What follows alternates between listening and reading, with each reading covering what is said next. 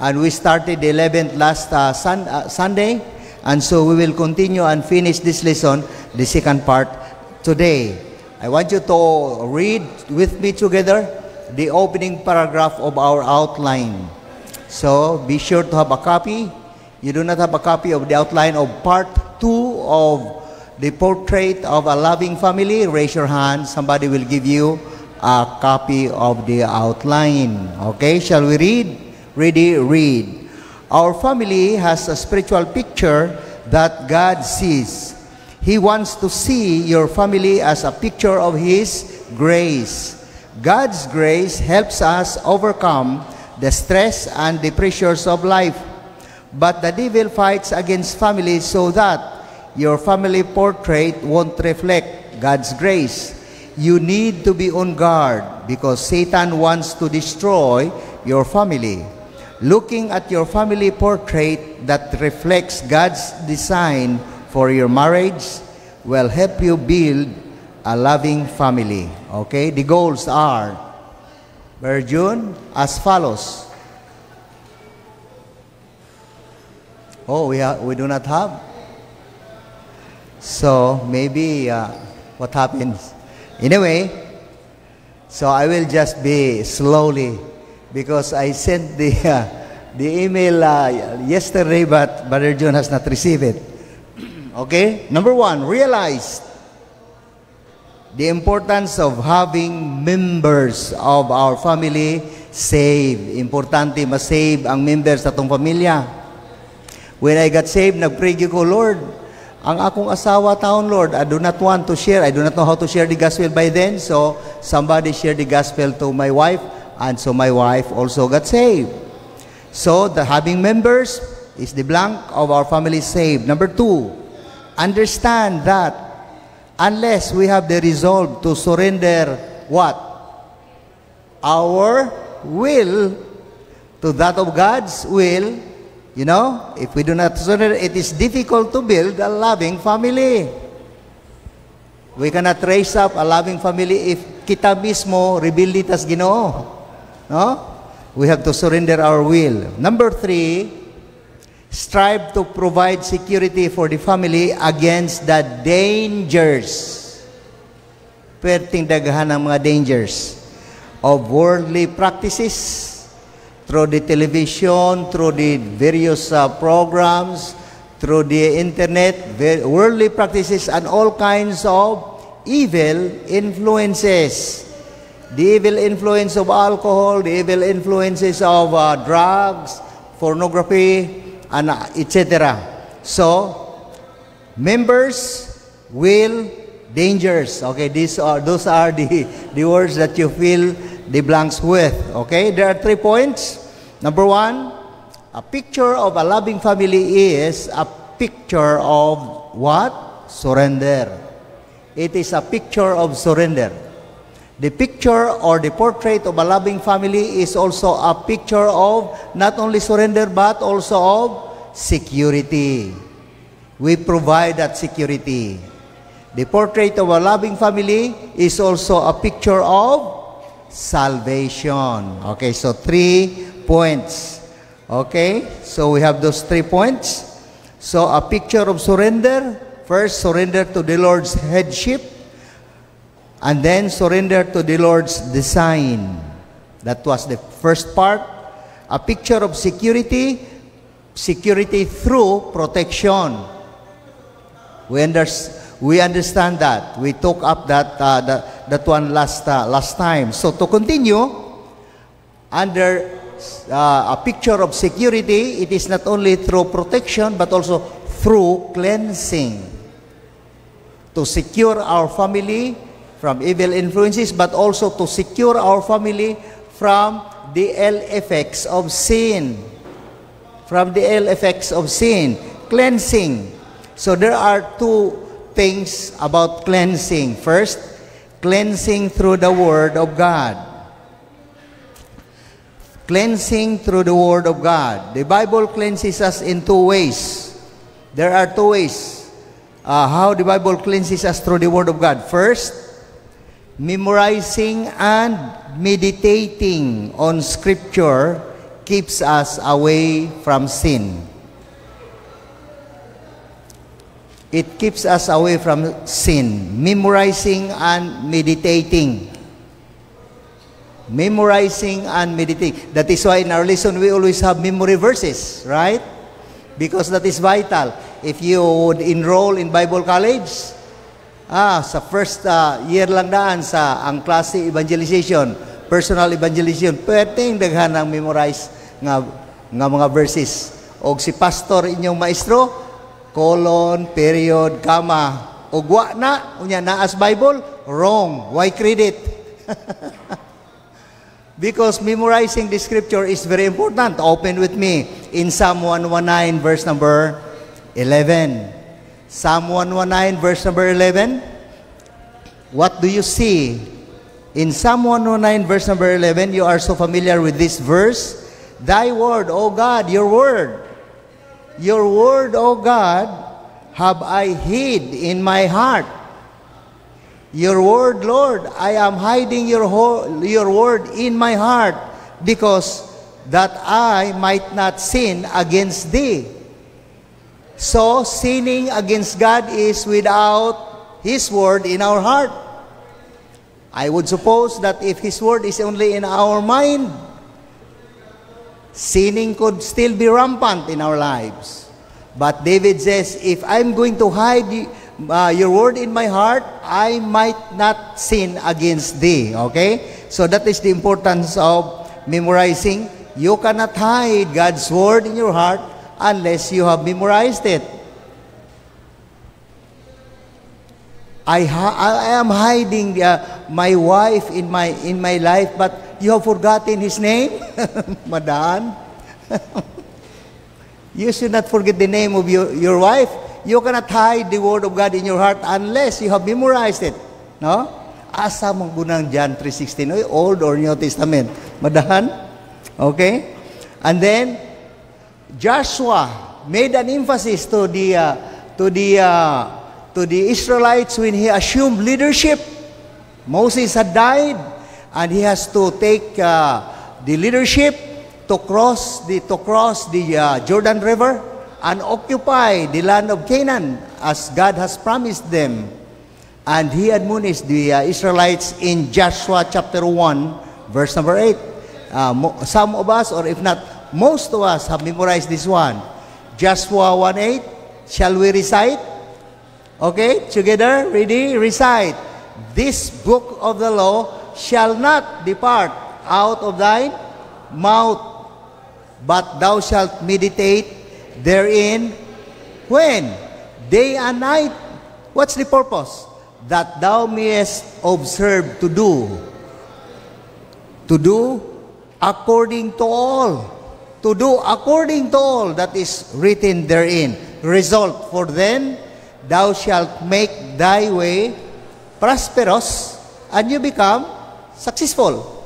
And then thou shalt have good success.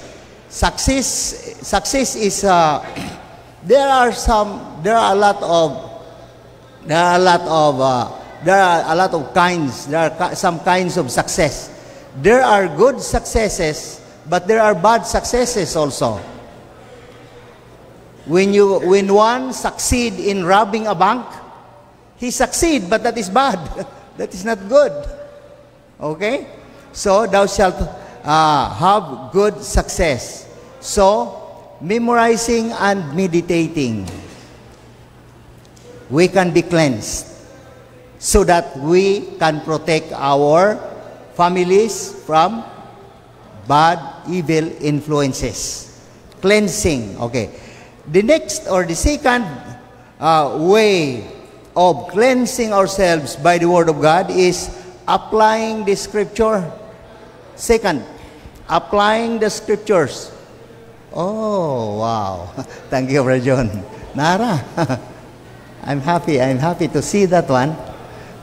Kinakog yung wa ma, wa ma, wa madawat, okay? So, applying the scripture which truth cleanses or sanctifies us. Jesus Christ, in His prayer to the Heavenly Father, after the Lord's, uh, the, the Lord's Supper, in John chapter 17. Notice this one. John 17, verse number 17. This is the utterances of the Lord Jesus Christ when he prayed to the Heavenly Father. He said, addressing to the Father, Sanctify them through thy truth. Thy word is truth. Meaning, set them apart by cleansing them with your word. Set them apart so that they can be used for your honor and for your glory. So when we become doers and not hearers only, for sure, God is going to be pleased with our lives. Gisit apart ta. So we should not be hearers only, but doers also. James chapter 1, verse number 22 says, James chapter 1, verse 22, what does the Bible say in this, in this uh, passage of Scripture? James 1.22, But be ye doers of the word, and not hearers only. To some extent, some of us, or if not all of us at times also, we become do, uh, hearers only but not doers. And there is a hard word that the Bible speak against those who are hearers only but not doers. Because the Bible says, deceiving your own selves. We are deceiving our own selves if we are only good at hearing but not doing. Okay? That's why faith cometh by hearing and hearing by the word of God. That's good. That's faith. But if you are hearers only, you have a dead faith.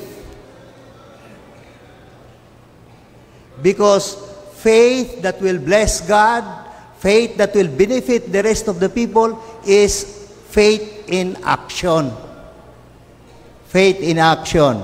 So, uh, we let the Word of God cleanse our families as we what? As we teach and apply principles from the Bible because we are the living example for our children. Kita may ilang himplo. So we teach them. And if we see otherwise in our actions and in our words, they become confused.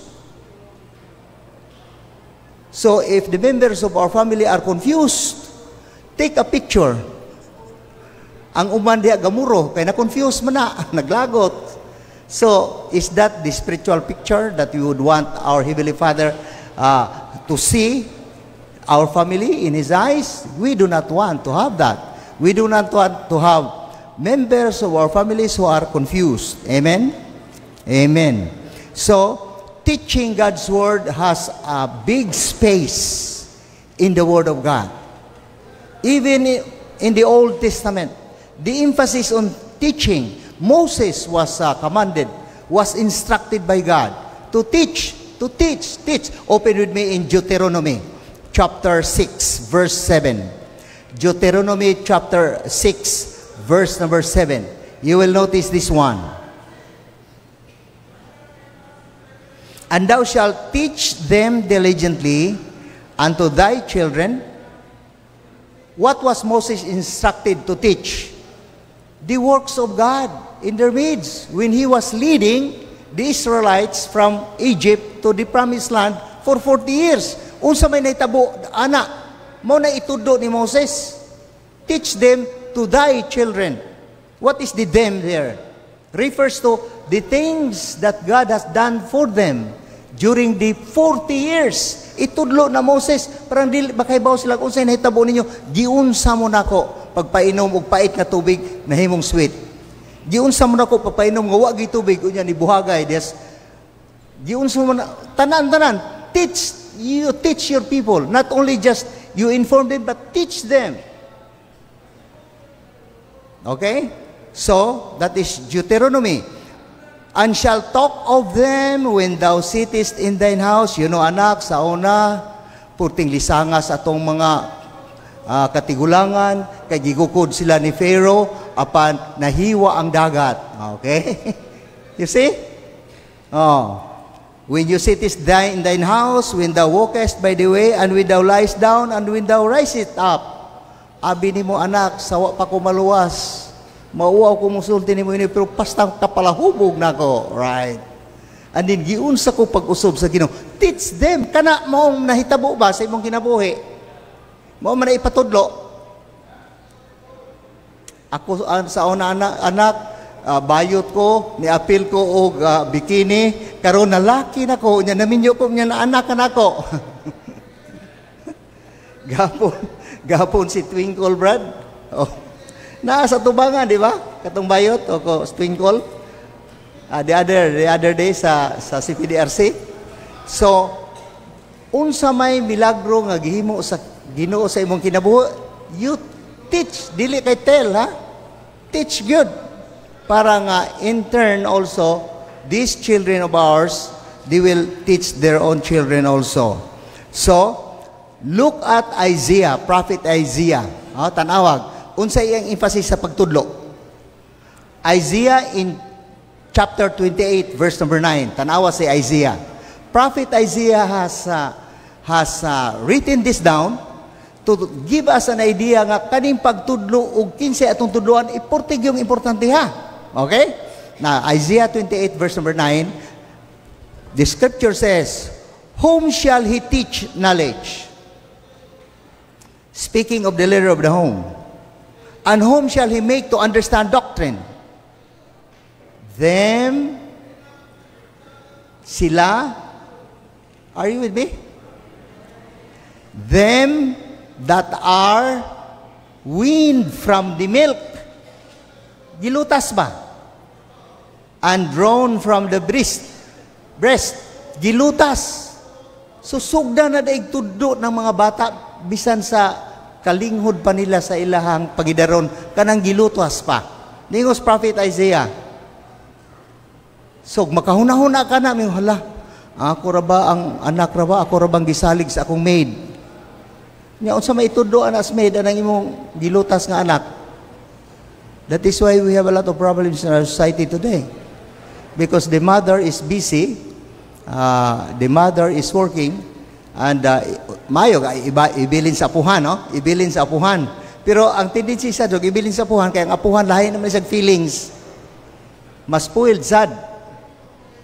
Mas spoiled. Lahi gyud ang inahan gyud ug ang ginikanan gyud mo ay mag magmatuto sa sa gamay pa siya lahi gyud mao na emphasis ni prophet Isaiah whom shall he teach knowledge and whom shall he make to understand doctrine them that are weaned from the milk and drawn from the breast spiritually kinsa may angayang tudluan sa doktrina nga makasabot ang mga bag-ong nangaluwas as newborn babes desire to Desire the sincere, the pure milk of the word that you may grow thereby. Na, sila may tuluanan. So sa atong church, ang angayan ng Bible study ka na bagong nang luwas, mag-Bible study ta na para ma-fed na sila sa Word of God so that they will grow thereby. Okay? So, cleansing through the Word of God and next, cleansing through prayer. Cleansing through prayer. Okay? Ay naman ta. Okay. Are you following me with your with your blanks in there? Okay, that's good. So, the Lord Jesus teaches that what? That blank was to be a part of our regular communication with God. What is that regular uh, uh, regular uh, communication with God on a daily basis? Confession The blank there is confession. Okay? Now, in the Lord's model prayer, model prayer in Matthew chapter 6, the second part of the model prayer begins this verse 6:11 Give us this day our daily bread. That is the model prayer that the Lord Jesus Christ teach His disciples. Teach us to pray, Lord. Be, tudlo iragod mi, Lord, sa pag-pray. When you pray in this manner, in this manner, in this manner, ingon ani, ingon ani, give us this day our delivered. Lord, ihataga ikog supply ron sa ako ang physical nga panginahanglanon, Lord, may pagkaon. Oh, give us this day our delivered and forgive us our trespasses. forgive us our sins. Duha na na. Kana lang daan, duha na nang gipangayo nimo. Second part of the model prayer. And then, as we forgive those who trespass against us. So this is a daily, daily communication with God. And there is always there the confession. Because in the process of confessing to God, the things that we have violated against His person, against His law, we are cleansing ourselves from the ill effect of these things. Ang sin manggod sala, the soul that sin it shall die, mamatay. Gi-kumparar ni Jesus Christ kini siya sa uh, bitin nga la kayo. As Moses lifted up the serpent in the wilderness, so shall the Son of Man be lifted up also. So ang sala sama sa kala sa bitin nga makapaak. So ang biktima sa mapakan sa bitin magantos og tumang kasakit if the bitin is poisonous. It will result in his death. That is the same effect as sin upon our lives. And so to cleanse us from the ill effects, from the painful effects of sin in our lives, cleansing is very important by prayer. So, prayer. In fact, the medical, if we have fever, usually, natay sinutab. Nag-text na ko si Dr. Pina, unsa gani ito'y kuan brad sa kanang uh, running nose unsa to unsa um nako niya tawag dai kong Brad Nolan Brad uh, na para sa Dr. Diaz uh, communication na mo pa kana din uh, ako dai siyang gipa. Text kan nga mao ni siya running nose doc Dr. Pina. Do na tay medical sa to asad nga espirituhanong kahimtang. Kung maayo ta ang atong fever o medical unsa pa na da sinutab ug uban pa sa sa Bible na man sad na siya? 1 John 1:9 no? Okay 1 John 1:9 if we if we drink medical probably we shall be relieved of our headache if we confess our sins, right? When John spoke of these things in love, grabe ang subject sa love. First John, ang subject na love God. Love of God. Tanawang subject na. Nindot kayo ang tema sa First John from chapter 1 to chapter, uh, chapter 1 to 8, uh, 4. So, ningon siya. If we confess our sins, He is faithful and just to forgive us our sins and to cleanse us from all unrighteousness. We claim this. Even unbelievers do claim this also. They claim this also. But notice that if we confess, the requirement is confession. The requirement is acknowledge, acknowledging, acknowledging uh, our sin before Him Yes, Lord, I have violated your law. And remember, when you violate, when you violate the law of God, you are violating His person. Very simple illustration. Kung ang Blackie o Bombay kaslon, gikasal sila, gitagaan sa lisensya sa atong gobyerno. Kana nga license wala na mahimugso diha og wala na pa, pa, pa, pa uh, wala na pa paaprubahay og balaod. Balaod nun ang gap provide ni ana nga license. Kana nga balaod nun wala po na mahimo og wala na pandaya sa mga katawhan. Ang mga katawhan gapanday na dili ordinaryo. Wala ta mamunit og unsa dia gi-elect na sila nato. House of Representatives, then to the Senate, then to the President. Una pa na mahimong balaod, tedious ka ang proseso. So when you violate the law, you are against the government. What is the result? It depends upon what kind of violation, but chances are you will land up in jail. You will be punished. And we have so, ma- so many now. The what? The population in the jail, the population, the inmates are increasing, ever increasing. Kana tawhanon lang na. Violation na lang sa balaod nga gipanday og tao.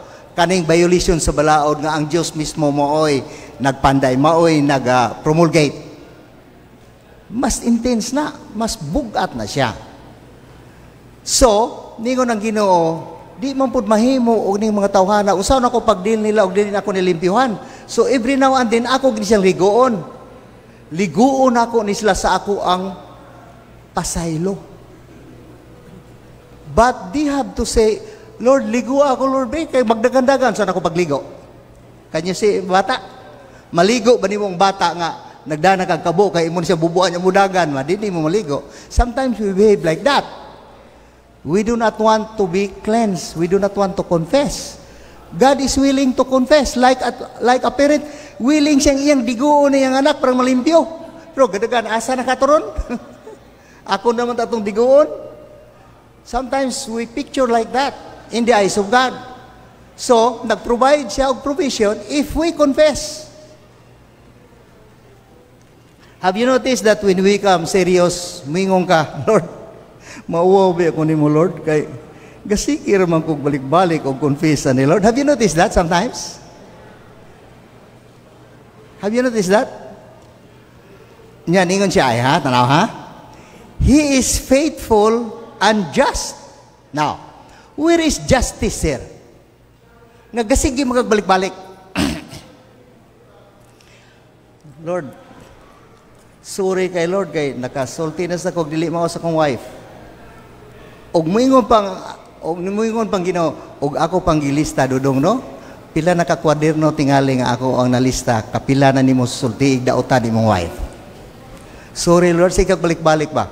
But why is it that God is just? Nganong just nganong iya mang ipa hmm? nganong man nga do na may hustisya ang iyang pagpasaylo na to, nga naman, He is just man, ang gingon sa Biblia. God is just to forgive us. Nga nung naman siya justisya, tungod kay nasayod siya sa atong corrupt nature. Tanawar ako ng atong bata, nga palangga kay nato, nasayod na nga badlungod gina siya. Atong gidigo ro to, gadagandagan. Sunod, adlaw to, mudagandagan na sa, dili paligo. Badlungon kayo. And then, and yet, pinanggariga po nato kayo. So, mo na ako nakita nga, God is just. Nganong, nganong naman siya justisya nga mupasaylo na to, kay nahibaw siya sa ato ang corrupt nature. Maubitang ipakamatyan ta? Okay? So, He is faithful and just to forgive us our sins, and this is the bonus. This bonus, 12-month bonus, ana, gauna nang ginawa ni. Unsay bonus? and to cleanse us from all unrighteousness. Anything that is unrighteous in your life and you have not mentioned that in your confession, God is still willing. God is still willing. Sa diha ang bata mo surrender na dito, ang tanang buling iyahan ang imo ng tanaon. Bisag mo yung hugaw kay ako dre ma. Ang mama di lang kay concern sa hugaw dre, iyang limpyuhan tanan. Because it is the act that honors God. What act? The act of confession. The act of confession in itself.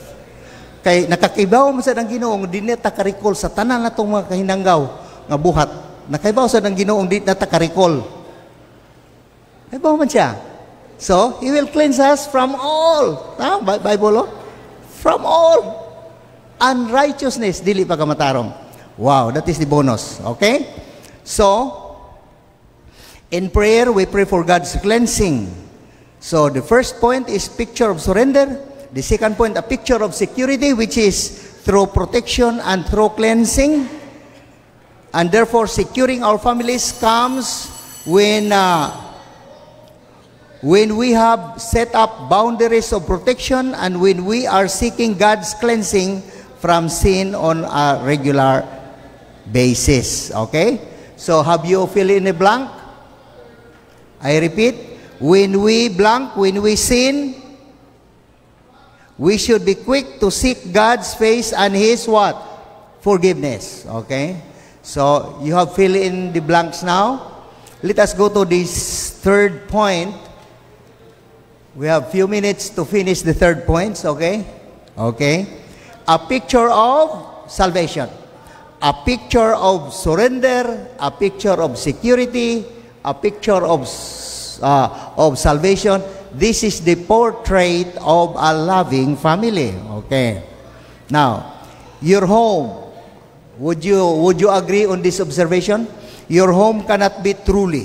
It cannot be truly what God means it to be, a portrait of a loving family, unless you and me are a part of His family. Kinalang part ta sa iyang family. Loving God man siya, unya, saan na to pagka-loving family, dili siya part sa dili ta part sa family. So salvation of the members of your family is a prerequisite of having a Christian home. A home is not Christian if the members of, of the family are not Christians. Okay? So building a Christian home requires seeing to it that every member is saved. Every member is saved. Unsaon man ako ni pagluwas, dili ikaw muluwas ana. Unsaon man ako ni nga maluwas ni, i-pray. And then God will give you wisdom to contact people in the church, staff of the church, to win the members of your family.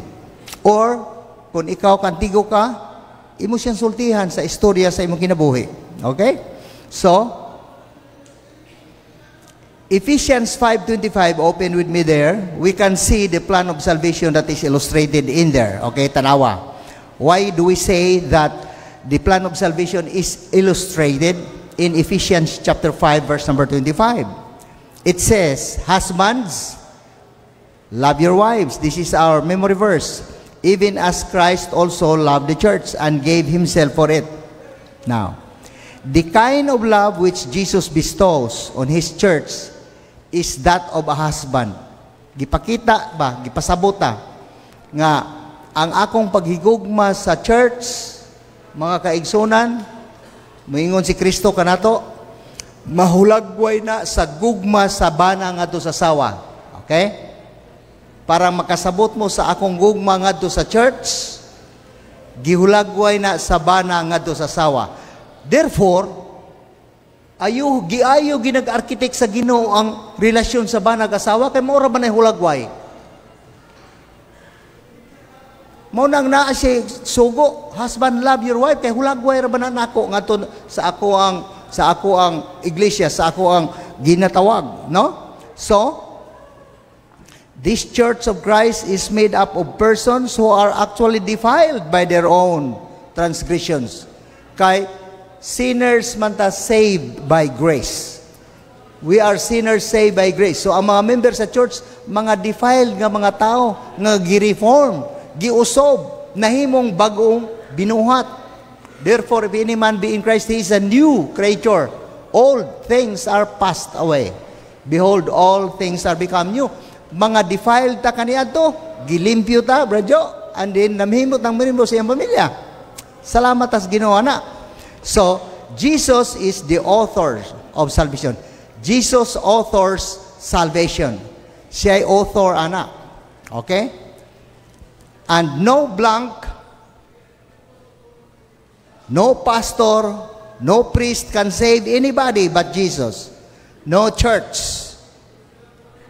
So it is not uh, it is not correct to say you be a member of our church so that you be you be saved as if it is the church that saves the person.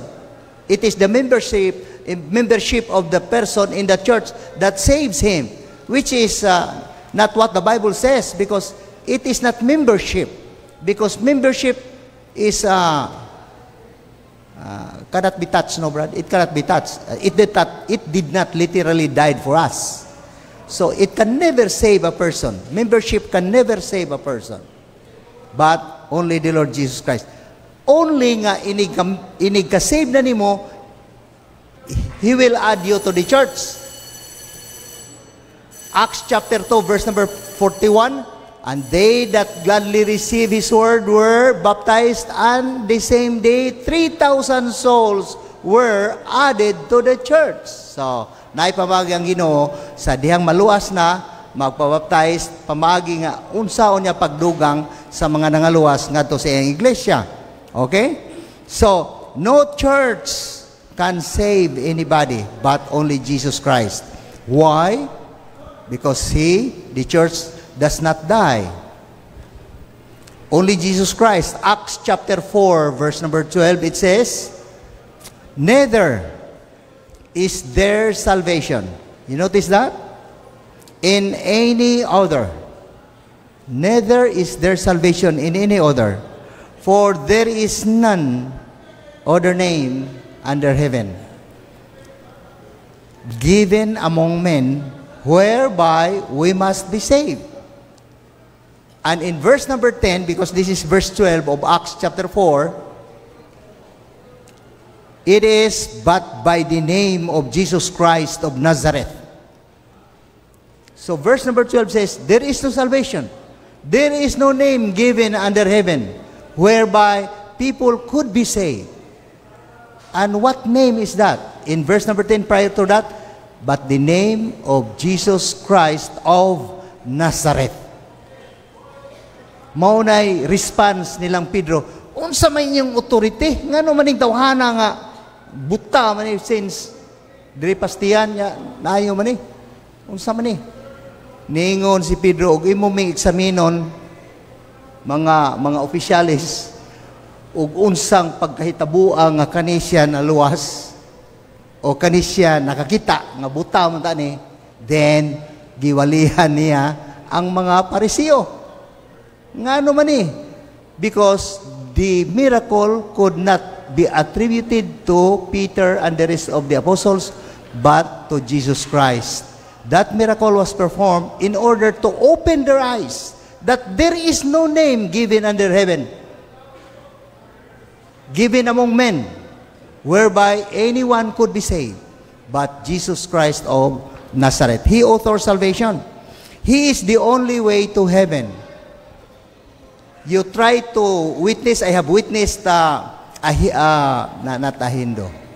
I have, uh, I have witnessed, uh, kadi bang igsoon bang uh, grupo sa Hinduism, Buddhism. I have witnessed uh, uh, one who is uh, a believer of Siddhartha Gautama, Buddhism.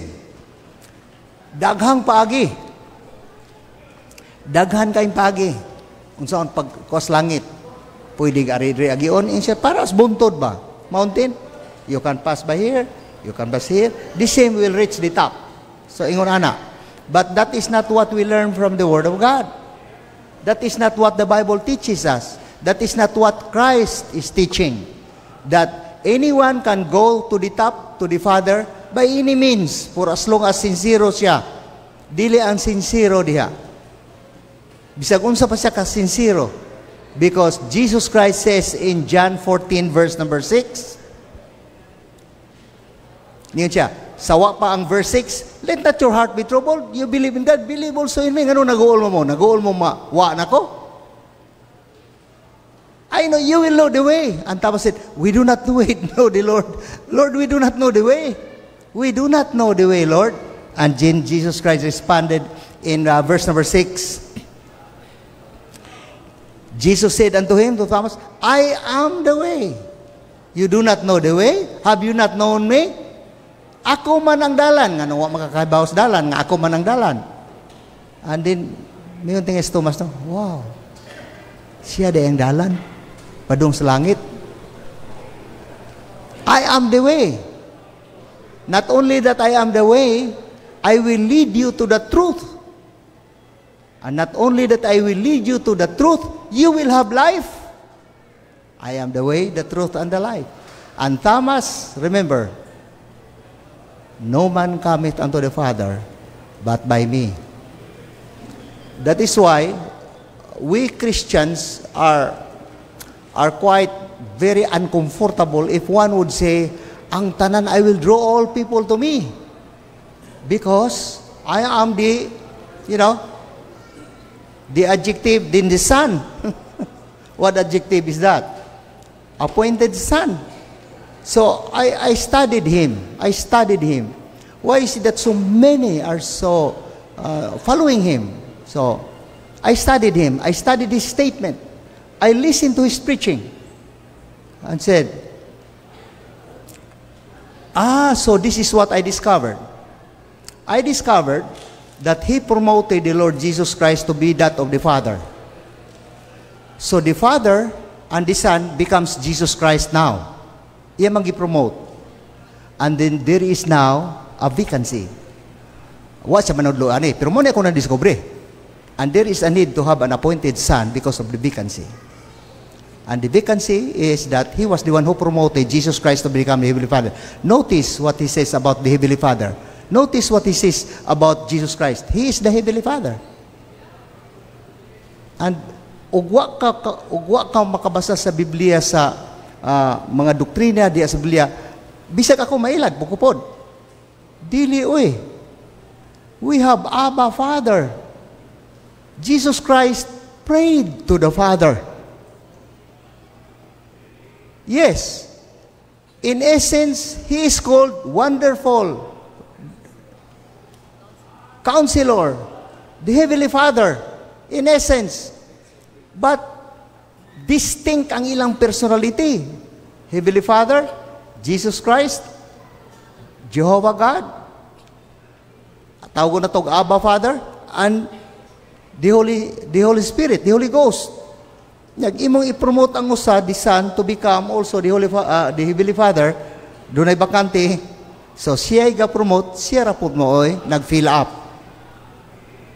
And so when he quote verses about Jesus Christ, referring to the Heavenly Father, when he quote verses about Jesus Christ as the way, he becomes the way. And so, di ko ka accept ana tungod kay wa man siya mamatay How can He lead people to Him when He did not die for them? Only Jesus Christ. So listen, no? But that is not our topic. But just in case ba lang ba? No? So, no man cometh unto the Father but by me. Not by anybody, self-proclaimed uh, person, but by Jesus Christ. And we know that salvation came because of God's love. Ugwa pa siya, may gugma na to. Di kita maluwason. Di po taluwason. And Jesus set the example and pattern for love that we can follow. Iyang giset ang, ang, ang example sa paghigugma. Unya mo itong sundon. Now, tanawa si uh, tanawa si John, the beloved. Ningon siya sa 1 John chapter 4 verse 11. 1 John chapter 4 verse 11. Ningon siya, Beloved, listen to this, beloved. Are we the beloved? Yes, we are the beloved. Okay? Dili man gud ta angay ang higugmaon pero tungod di Kristo we become the beloved. Siya. Beloved, if God so loved us, we ought also to love one another. This is the pattern. Now, verse number 20, jump to verse number 20. 1 John chapter 4. If a man say, I love God, we can say we love God in our songs as we sing songs. We can say, I love God in our prayer, in our utterances, as we talk to people. We can say that. Now, if a man say, I love God, you notice that? And hated his brother, he is a liar. Oh, kagrabing acquisition, anak. Bakako na siya. Nganong niingon-ingon siya, nahigugma siya sa ginoo niya, iyang gikasilagan niya igsoon? Now, unsa ning bradera kanang igsoon nimo nga pareha mong imong papag mama? Not necessarily. In God's family, kita ba dire ba? So, naataron dire galingkod na kay gikalagutan dito speakas o to dito galingot na kay gikalagutan speakas, nagiyon ng Bible, you are a liar. Ni-explain si John. Para dili siya ma-accuse ma, ma, ba? Para dili ma-confuse ang usa ka tawo makadawat ani. Makabasa ani. Ni-explain si John. Sa iyang explanation. For he that loveth not his brother whom he has seen, how can he love God whom he hath not seen? What an argument. It makes sense to me. Does this make sense to you also? Nahigugma ko ni mo, Lord, yan ako gika, gikalagutan. Ang akong gihugma, wa, wa ko kita. Nya, ningon si Jan, saan ko niyo paghigugma ng Diyos nga di mo makita? Nga di magani ka kahigugma ng taong na diha, imong isig ka tao, nga parehan mo. So, it is expressed in the Bible over and over again ang mahitungod aning gugma sa Dios. Okay? So, nganong gugma ma itong topic tungod kay salvation man. Wa man ta maluwas gawa sa gugma sa Dios. Tungod man ana. Unya mao man ay the third picture of uh, the portrait of a loving family. So, over and over again, John, uh, Jesus Christ in John 15, 9 says, nagingon, As the Father loved me, so I have loved you, continue ye in my love. In Ephesians 2.4, But God, who is rich in mercy, for His great love, wherewith He love us. 1 John 4.10, Herein is love, not that we love God, but that He loved us, and sent His Son to be the propitiation of our sins. So here is the blank. His love for us it is eternal, it is unchanging, and is based on His nature, not ours. His love for us is based on His nature, not ours. Okay? That is why He came into this world to die for our sins. Okay? So, salvation, Jesus author salvation, Jesus provides salvation. The blank there is provides. And then salvation is a what? It is a gift. Salvation is a gift. Salvation is neither deserved nor earned. For by grace are ye saved through faith, and that not of yourselves. It is the gift of God, not of works, lest any man should boast. It is neither deserved nor earned. Virgin, there was nothing good about us that made God want to save us. Wagi, wagi mayo na to. No? Ningon ang Biblia sa Roma 3.12, They are all gone out of His way. They are together become unprofitable. There is none that do it good. No, not one. So, in Ephesians 5.25, when the scripture says He gave Himself for it, literally Jesus gave His whole life. He gave His whole life, suffering and dying on the cross for the sins of the world. Whole life for the sins of the entire world.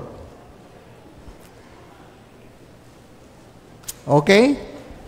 And He died in our place. He provides salvation. He died in our place. Okay? Jesus, uh, okay? That's right.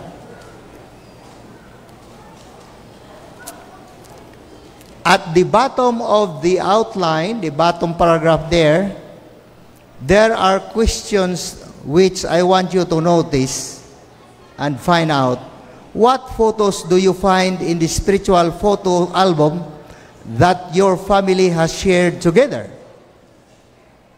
Do you find a page for salvation? Do you know do you find a photo for salvation?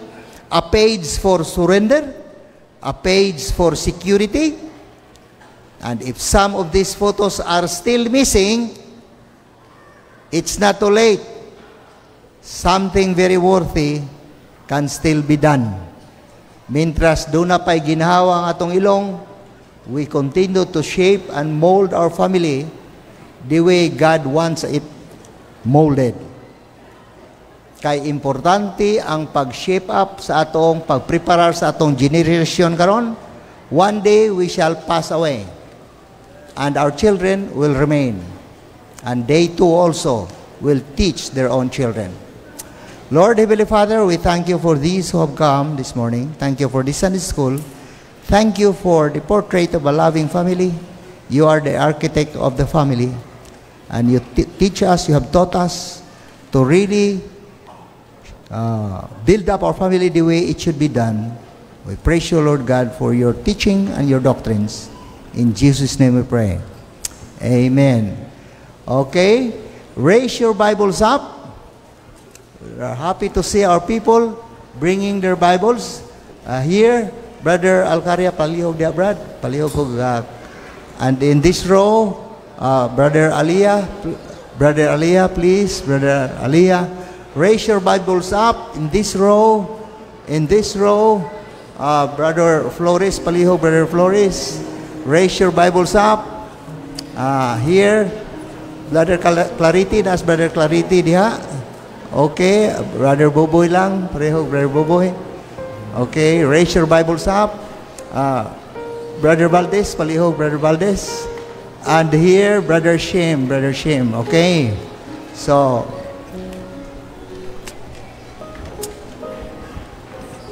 if you are a first-time visitor, Oh, we rejoice uh, with those who join us. Atong mga bisita, labi na ang permiro nilang ari dire.